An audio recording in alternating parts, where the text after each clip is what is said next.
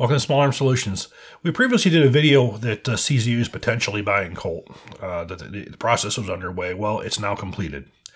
Uh, so uh, there's some additional things that need to be done right now, but uh, there's been a there's been a complete uh, announcement by CZ uh, Czech Republic of the acquisition being completed, and as you guys know, I was extremely excited. the Firearms Blog did an interview with CZ Czech Republic. And um, unfortunately, uh, my enthusiasm, which although it's still there, um, is just a little bit less than it was. Um, Firearms Blog asked the important questions. Number one, do you plan on staying in Connecticut? And they said yes. That is a major issue. Um, the the cost everything of everything up there, the antiquated machinery, working in a state which is totally anti-gun, anti what you do, is not a good situation. Uh, it makes no sense to me why, if you're looking to bring this company back, you would keep them uh, in, a, in a state which has oppressed uh, their ability to to function. Um, so that yeah that, that was a little bit disturbing. But the part that was really disturbing was the fact that they said that they have no intention of changing Colt management, and in his words, the management was competent. Now, if you look at the word competent in the dictionary, I can guarantee you, you will not see Colt management. You're looking at putting the same people in charge who brought the company down. So for them to claim that this management is competent and they want to keep them on, uh, that is extremely disturbing. That was one of the most important things uh, that was needed to bring this company back was new management. Now, you don't know if during the negotiations there was something said, okay, we'll keep these people uh, when this goes through. People protect their jobs or whatnot. You don't know if that was done. You also don't know if this is all just, uh, you know, the the initial uh, acquisition of the company. They're they're keeping it and then they're going to make changes later, which I really really hope. But in order for this company to succeed, it needs absolute new management. Now, as I said before, for Colt to succeed, it's not Phi Beta Kappa. You don't have to have an MBA in business to know what it needs to do. Now, I will talk about Colt Canada. Now, this is an excellent situation for Colt Canada because Colt Canada has always had competent management. Unfortunately, uh, when Colt went in there, they got rid of many of the good people. Um, so I don't know what the management situation is in Canada, but one of the benefits I will say for Canada is the Canadian military has been looking for a new replacement pistol for their well aging Browning high powers for quite some time. And Canada also manufactures all their small arms in house. They don't, uh, you know, they, they don't import guns. Uh, they're all made pretty much at the Colt Canada or Diemaco facility for the most part. With CZ coming in, CZ has the P10. The P10 is a military combat pistol. Now that you have the potential of manufacturing P10 pistols at the Colt Canada facility, and now you're having a legitimate uh, source for Canada to finally update their 9mm pistols to a modern combat pistol, which is the you know the P10, P10C. So getting back to Colt, Colt USA. Well, as I've said, what needs to happen for this company to succeed, if you look at what Colt management's done in the recent years, they've dropped their you know, they dropped their production of the M4 for quite some time uh, because of false uh, marketing information and very bad logic on there not being a demand for it. They brought back a revolver. Now, when they brought back the revolver, the Python, as we know, was iconic. The gun that people got, unfortunately, wasn't a Python. If you bring back a gun, you're bringing back a complete design. So, when they reintroduced the Python, what they brought back to you was not a fully redesigned trigger group. So, is that truly a Python? No, it's not. Python 2, Python 2020, Python 2021, maybe, but you introduce it as a Python when it's a completely different gun. And then when they rolled out, they had problems. As great as it was, they came out with a with a Python type revolver. That company is designed. Its function is military contracts, large scale uh, uh, manufacturing, mass production. They have not come out with any product that will keep those doors going indefinitely uh, with offering modern products that a military or law enforcement agency can use. The M4 in and what they're producing is rather antiquated compared to what's being made by other companies. Uh, they're still making 1995 uh, U.S. government M4s. Uh, they have not gone moved forward with their development of any new products that would be able to compete with modern military. So, what Colt Management Competent has done, they brought back a revolver that's a boutique rifle, a boutique revolver that most people can't afford. That's not going to be produced in the numbers and sold in the numbers that are going to sustain that company.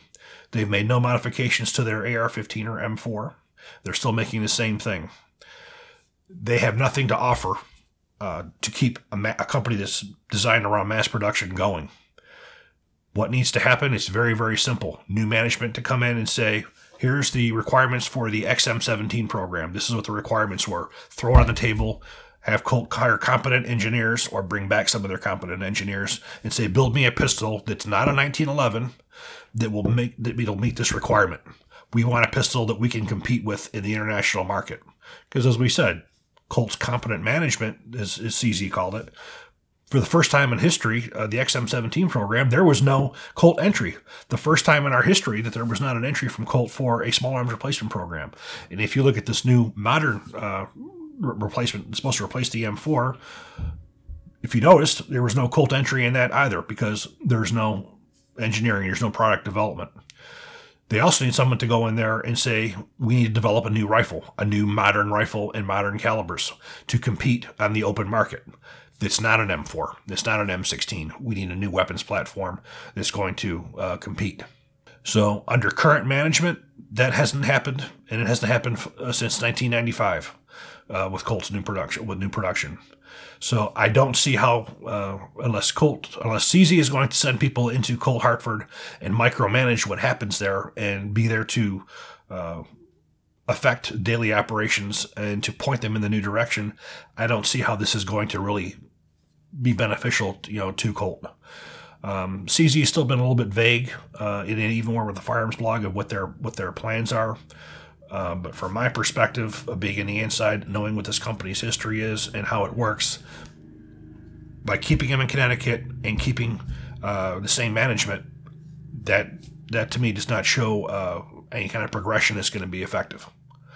Because Colt already had the issue when they went bankrupt, and it wasn't again, it wasn't Phi Beta Kappa why they went bankrupt because of lack of uh, new development, lack of engineering, lack of innovation, uh, failures on marketing for as far as, as, as for commercial sales.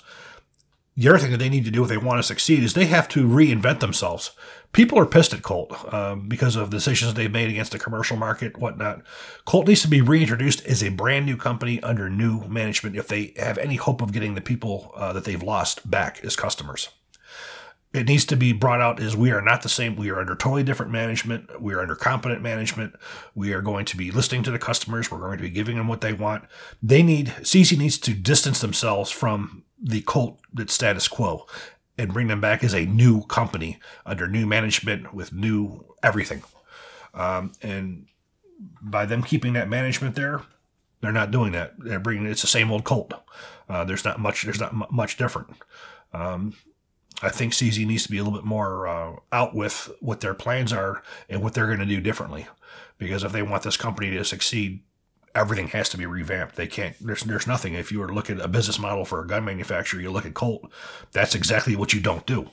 Uh, you look at a company that was on top, uh, and then you know they were they were they were a mecca for small arms development to the point now where most people who are in the international arms market don't even consider Colt as viable. Now, CZ did say that uh, they look at how the two companies will mesh. Well, uh, you know, as far as revolvers are concerned, CZ doesn't have revolvers. Uh, they do run Dan Wesson, so you're going to have two uh, companies who are going to be competing who are owned by the same with with CZ and Dan Wesson. Now, if you look at Colt, you know Python, Python two, whatever you want to call it, that is a again it's a boutique revolver that is expensive. It's the it's the most expensive in the industry. So is it really going to compete with Dan Wesson? Probably not.